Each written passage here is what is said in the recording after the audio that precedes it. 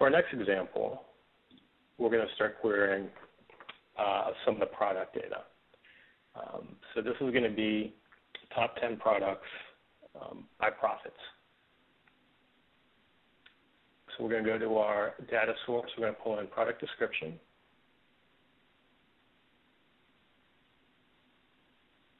And this has pulled in all 60,000 of our products. And we're going to also pull in the gross profit dollar amount we're looking for the top 10 by profit.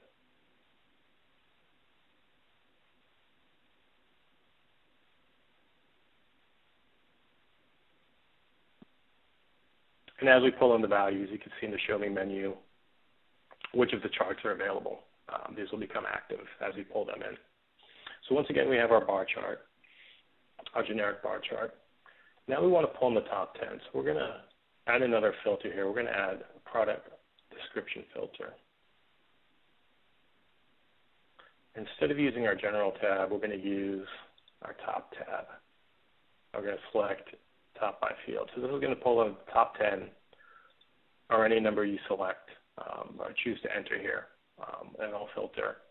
This is going to default to gross profit dollar amount, but we can also filter this based on any of the values within our data source. So once we set that,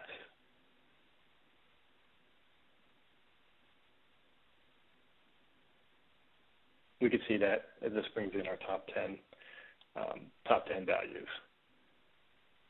So for this particular example, let's try the tree map.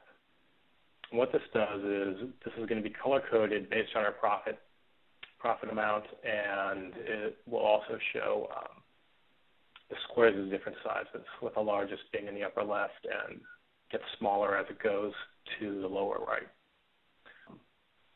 You can see that we have uh, tooltips and we have labels available here, which go back to your marks menu. So if we want to configure some of the data that we're showing, right now this is really only showing the brand name. Let's say that we wanted also to bring in the product department and take a look at that in the label.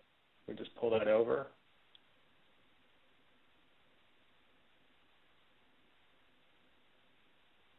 And drag that over to the label field. And then if we also wanted to see the profit dollar amount, we could bring that into. As a default, this is going to bring in the same values for the tooltip. But if you want to add additional values, you can always pull in something like sales quantity.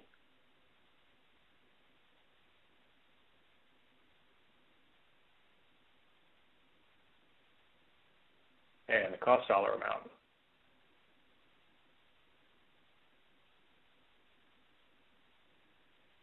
And make those available in the tooltip as well and these are easily configurable if we wanted to um, make the product description bold or underlined to call that out a little bit more clearly.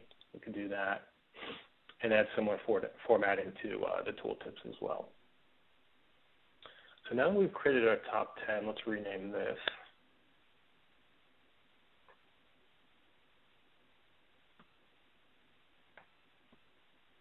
Top 10 products by profit.